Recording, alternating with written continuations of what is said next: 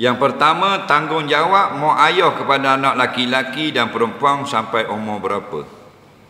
Yang pertama sekali, nafkah.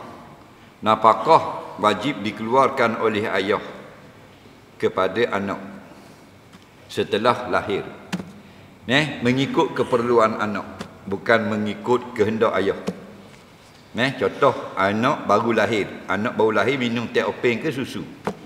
Ayah saya tak buah susu mahal beli teh openg. Tak boleh ada ada ada ikut keperluan. Kena beli susu S26 gold. Mang. Ha, 225 sekotok. lagi ha tu keperluan. Okey. Sampai umur berapa? Sampai umur anak itu sudah mampu bekerja sendiri. Contoh umur anak itu sudah 20 tahun. Contoh, contoh saya buat contoh. 20 tahun mampu bekerja sendiri dah. Faham?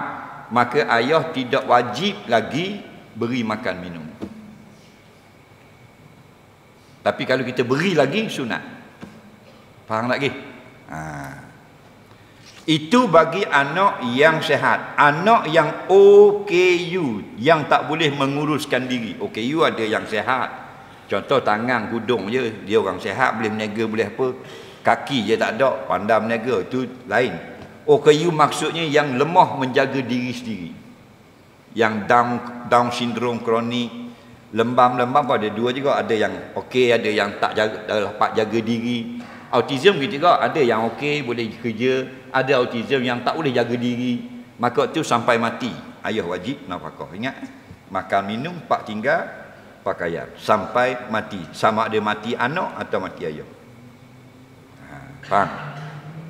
Mak sampai bercerai saja kalau dah mati bila bercerai dalam edah wajib. Neh? Ha, habis edah sunat saja. Faham? Ha.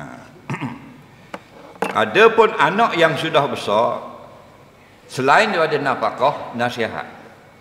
Nasihat tetap wajib ibu bapa. Jangan biar anak kita. Walaupun anak kita dah berumah tangga kita tengok tak betul nasihat dia.